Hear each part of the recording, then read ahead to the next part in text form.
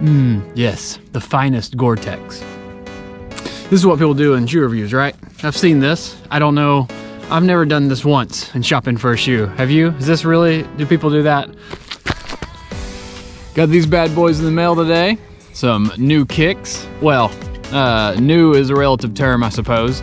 These were new in 2017. The Brooks Cascadia 12 GTX. I've never bought used shoes before, but got these off Poshmark for 50 bucks, so I couldn't pass up the deal. So let's lace up and go for a run.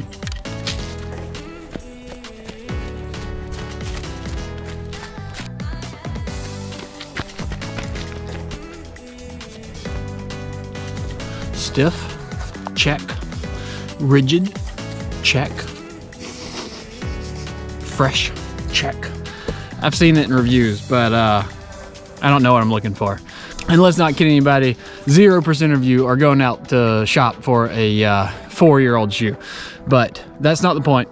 the point of this is that there may be alternatives the next time you go shopping for a new running shoe. For me, I found a, uh, a good uh, deal on a good shoe on Poshmark. So maybe you can find a used one, maybe check eBay, uh, maybe Facebook Marketplace or, or Craigslist, who knows. All right, still don't know why I'm doing a review on a five-year-old shoe, but uh, hey, if you're out shopping for the Cascadia 12 GTX, I wholeheartedly uh, recommend it. So just gave this uh, a, a, torture test, put it through the ringer, uh, did vertical mile, over 5,000 feet of gain in 12 miles uh, over four hours. And this thing was great. I love it. It's comfortable. And uh, the, the rock plate gives great protection. The Gore-Tex is perfect on um, kind of drizzly day like today.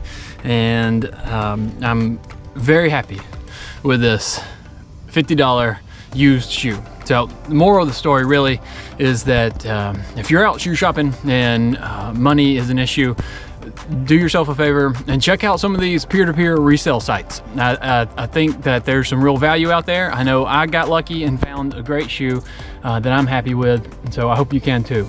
If you've ever had any success, if you ever gotten a, a steal on a, a, used shoe or uh, on a resale site, uh, gear, or any other thing, let me know in the comments below. Thanks for watching.